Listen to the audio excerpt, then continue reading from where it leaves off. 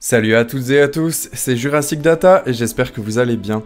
Aujourd'hui, on se retrouve sur Prehistoric Kingdom pour l'épisode 5 de notre série dans notre parc espagnol. Petit épisode spécial car nous allons agrandir l'enclos boréal des mammouths pour y ajouter une grande steppe ouverte en ajoutant des nouveaux habitants, les rhinocéros laineux. Je rappelle très vite le concept de cette série pour les nouveaux arrivants, je publie régulièrement des sondages dans l'onglet communauté de cette chaîne YouTube, vous pouvez voter pour votre espèce préférée parmi les 4 proposés, et la gagnante aura un nouvel enclos dans ce parc et fera l'objet d'un nouvel épisode.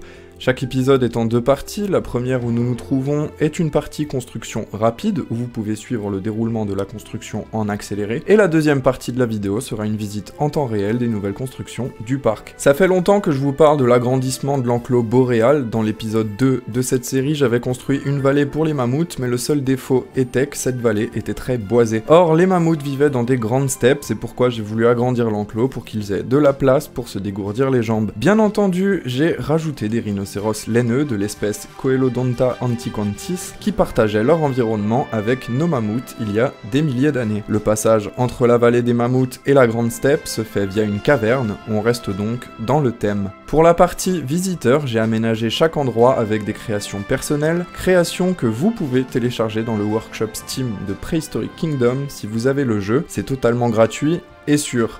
Les deux tours d'observation sont d'un autre créateur, je vous mettrai le lien dans la description. Hors enregistrement, j'ai également aménagé plusieurs espaces du parc qui étaient restés sans décoration pour rendre le tout plus beau et plus travaillé.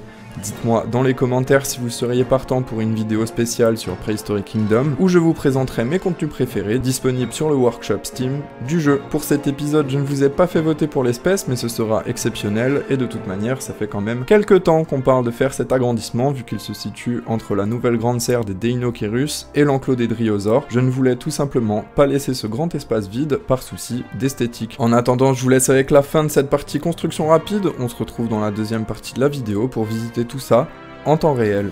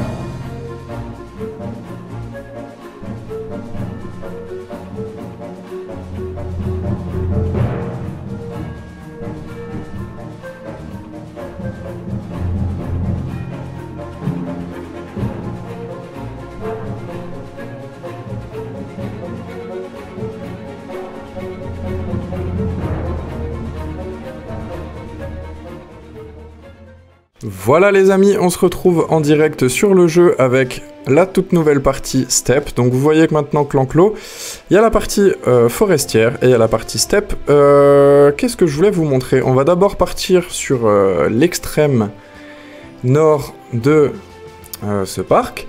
Donc comme vous le voyez, j'ai téléchargé des nouveaux bâtiments. Les nouveaux bâtiments que vous téléchargez se retrouvent juste ici dans Modular Prefabs. Et Ici, dans le workshop, vous avez tout ce que vous avez pu euh, télécharger. Donc par exemple, il y a des créateurs qui, euh, qui prennent le temps de construire des, anciens bâtiments de... Euh, comment ça s'appelle? Jurassic Park Opération Genesis, auquel j'ai joué énormément quand j'étais petit. après, vous avez beaucoup, beaucoup, beaucoup de choses. c'est à vous de voir, des, des petits éléments. J'en ai pas encore téléchargé beaucoup. mais ici, c'est un créateur, il me semble qu'il s'appelle Black Iron. Euh, que j'aime beaucoup, des, pièces assez modernes. Donc euh, j'ai téléchargé les, euh, les plateformes de vue. Donc pour l'enclos des torvosaures ici que nous avons, j'ai fait une petite place et là vous pouvez voir ce que j'ai construit et ce que vous pouvez télécharger dans mon workshop, c'est-à-dire des, petites pièces, des petites jardinières? Voilà, donc j'en ai fait des tropicales et des boréales pour l'instant, mais je rajouterai souvent du contenu. N'hésitez pas à le télécharger. D'ailleurs, la grande serre ici est disponible aussi sur mon workshop, donc n'hésitez pas, allez-y. J'ai continué d'aménager bien entendu les chemins à chaque fois comme j'ai pu ici, enfin voilà. Euh, j'ai aussi aménagé du coup alors, euh, cette partie et cette partie, donc maintenant les visiteurs, on n'y touchera plus.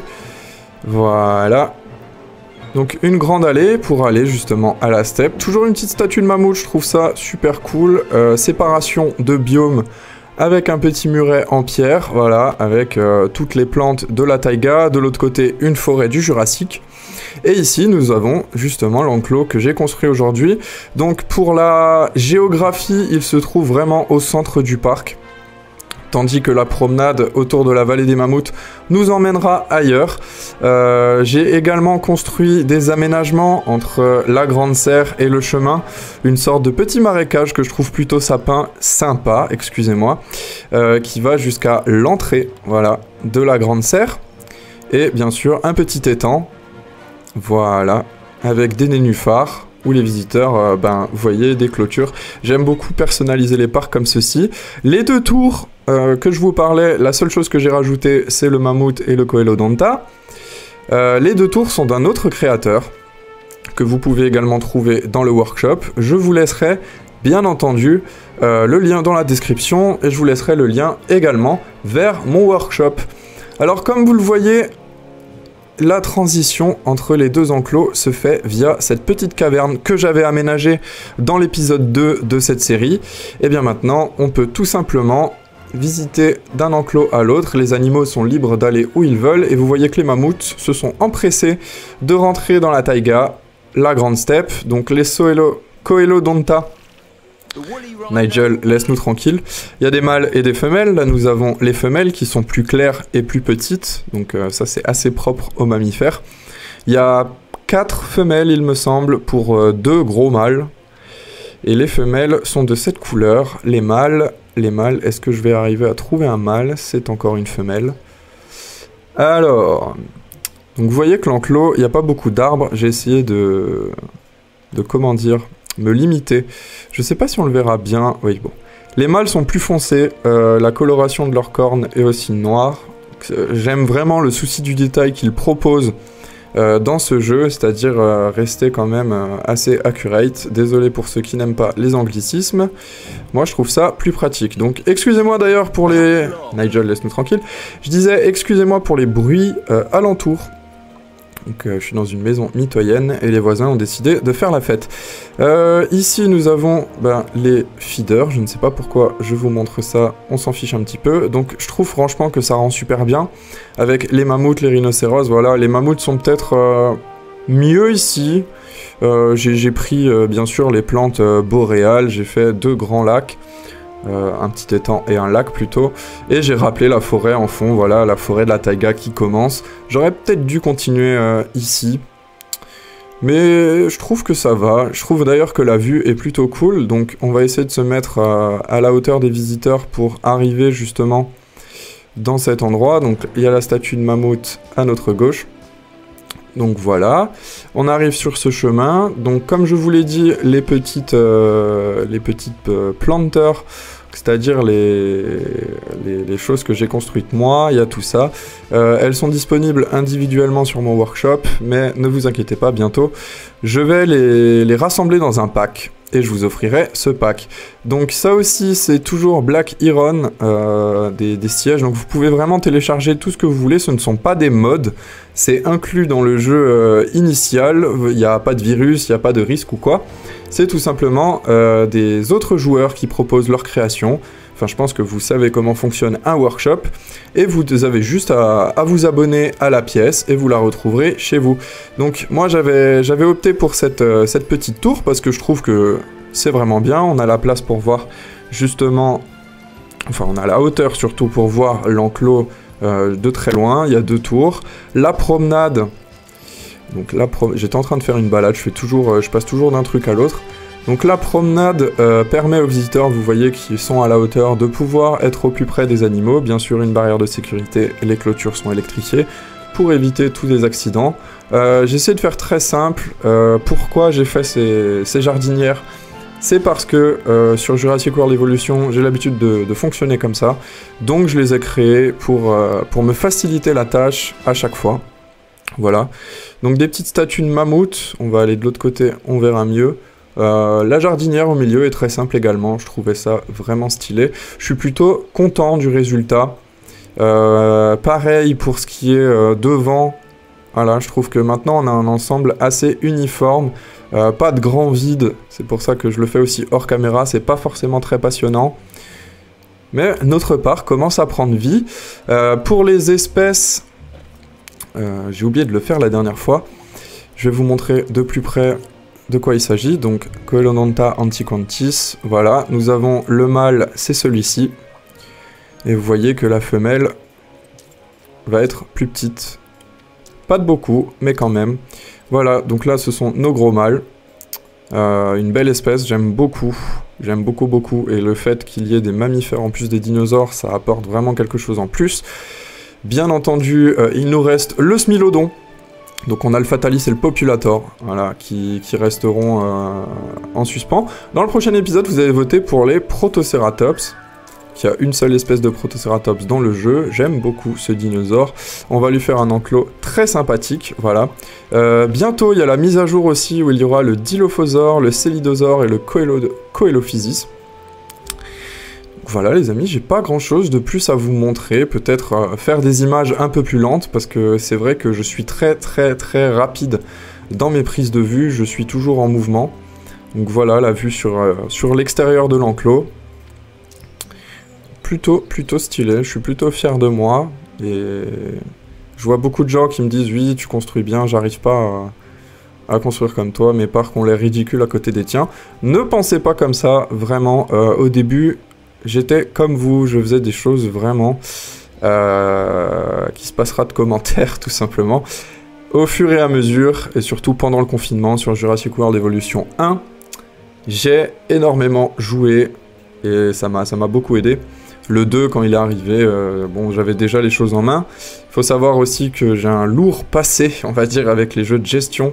Je jouais à Zotikun quand j'étais petit, et surtout, comme je vous l'ai dit avant, à Jurassic World, euh, Jurassic Park Opération Genesis, qui était mon jeu de prédilection, avec euh, Age of Mythology, Age of Empire, mais c'est pas le sujet. Jurassic Park Opération Genesis, où, j'ai passé vraiment, je pense, 10 ans de ma vie dessus, sur PC, à le modder, à le... voilà. C'est pour ça aussi que j'ai un certain niveau, on va dire, si, euh, si je peux me permettre. C'est vrai que j'ai certaines facilités, mais c'est pas pour autant que, que je suis euh, plus fort que vous. Ça n'a rien à voir, c'est juste une question d'habitude en fait. Voilà les amis, bah écoutez, je vais vous laisser là-dessus. J'espère que l'épisode d'aujourd'hui vous aura plu.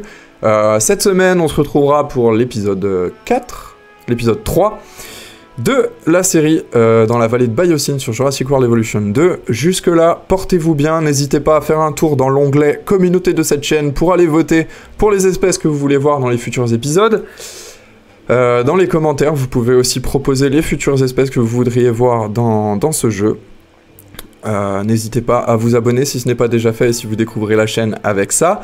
Laissez un like, laissez un commentaire, c'est très important. Euh, je reprends la chaîne depuis début septembre, il y a quelques vidéos qui sont sorties, n'hésitez pas à aller checker ça. En attendant, c'était Jurassic Data, bye bye.